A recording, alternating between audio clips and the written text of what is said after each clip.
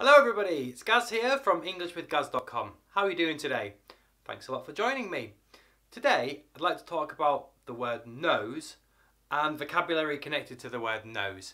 This is an interesting subject for me because as you can see I've got quite a big snout. I haven't written that down but there's a little bit of slang for you. We can call a nose a snout, like a pig. So let's get started. Let's look at some common nouns connected to the nose. So here we are.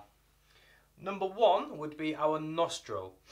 This, we have two nostrils, these rather. We have two nostrils. This is where we breathe in and out. Nostril. Number two is the bridge. Everybody has a bridge on their nose. That's the part here right in the middle. I hate turning profile, but I'll show you. My bridge is quite big, quite pronounced. So this is called the bridge of the nose. Number three, nasal hair. We all get hair in our nose. Well, if you're a man, you get hair in your nose. I'm not quite sure if women get lots of nasal hair, but that's what we call it, nasal hair. You could just call it nose hair. Everybody would understand, but the correct word is nasal. Number four is a nose bleed.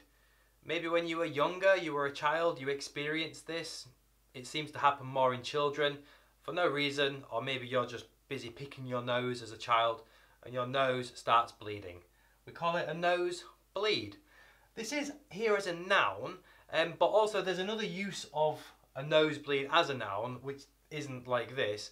For example, I like to watch football, and if you end up getting a ticket to a very difficult game, often it won't be a great seat. For example, it might be very high up in the stands. Well, we often refer to seats like this as being a nosebleed ticket or a nosebleed seat, just because you're so high up that it makes you feel like your nose is going to bleed from the altitude of being so high and so far away from the action, from the football.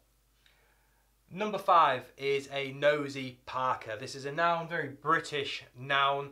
Uh, we use this to describe somebody who's basically just being nosy. Nosy is also an adjective. Let's deal with that now.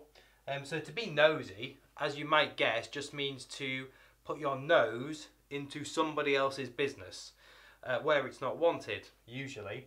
So a nosy Parker is somebody who is always nosy. Sorry, I'm not sure if you can see that there. Nosy. So a nosy Parker, somebody who's always nosy. I'll just come back over here. And two more nouns, uh, nouns, excuse me, connected to the nose. We've got a bogey, what an American will call a booger. In British English, we call it a bogey. You know, those dry bits of snot that get stuck in your nose and make it difficult to breathe. So we've got a bogey and snot. Let's take a look at some verbs connected to the nose. Now you'll notice not all of these words are always about the actual nose. The language is very abstract. So for example, nosebleed, in the example I gave you is nothing to do with the nose, but it's how the language works. Um, so let's look at verbs.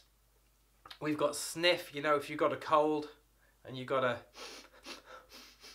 sniff, you know, my son right now, he's he's got a cold and he's always sniffing. It's it's very irritating to hear somebody sniffing. So if somebody's always sniffing, you tell them, "Hey, go and blow your nose, please, because I don't want to hear you sniffing away." And number three, if you've got many nasal hairs, then the way to get rid of them is to pluck them or pull them. In the same way that uh, women, more so than men, um, pluck their eyebrows to make them look tidy.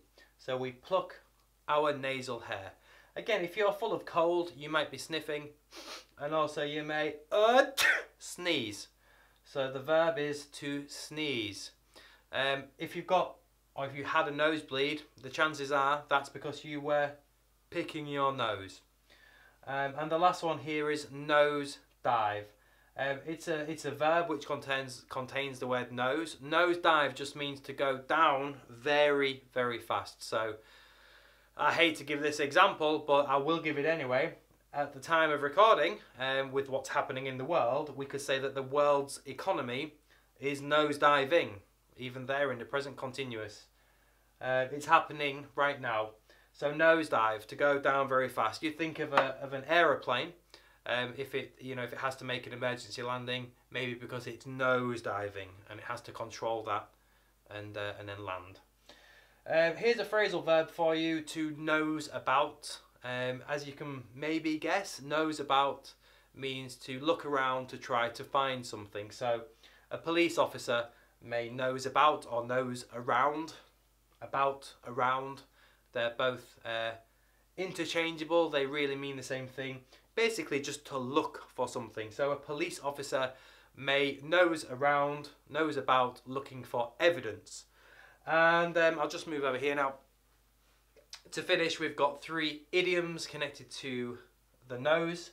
The first one is to look down your nose at somebody. So if you have a high opinion of yourself, you may accidentally find yourself looking down your nose at somebody who maybe isn't as intelligent as you or as attractive as you um, or whatever. Pick the reason why you think you're better than them. But if we do that, then we are looking down our nose at somebody or something. You know, it doesn't have to be a person. It could be an object like a car, for example. Here you are, darling. I've bought you a brand new car. It's a Renault Clio. I don't like French cars. All right, sorry. I'll buy you a Ferrari next time. I don't like Italian cars either. All right, all right. I'm sorry. Um, no need to look down your nose. I'm just trying to be nice. I mean, as if I'm going to have enough money to buy my wife a car, a Ferrari, of course. But there we go. You get the idea. To look down your nose at somebody. Uh, the second idiom I've got for you is to smell a rat. Um, or we could say something smells fishy. They both mean the same thing. To smell a rat means that something doesn't seem right. You are suspicious of what's happening. Um, so smell a rat or smell something fishy. And the last idiom I've got for you today is to put uh, his or her, change the pronoun, nose out of joint. So if you put somebody's nose out of joint, it means that you offend somebody. It's really that simple. So, um, you know, my husband bought me a Ferrari. I can't believe it. He really put my nose out of joint. All right. Um, so there we go. My wife is awesome. She would never, never say anything like that, of course. So there we go. Thank you uh, very much for watching. What I will do now is I'll put all of this into text and I'll pop it in the description below the video. If you did enjoy this video, please subscribe to my YouTube channel where I bring you videos like this each week as well as my weekly vlog and other videos to help you improve speaking English.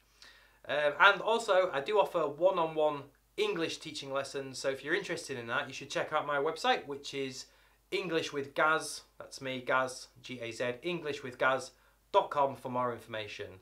Thanks again, all the best, and take care. Bye bye.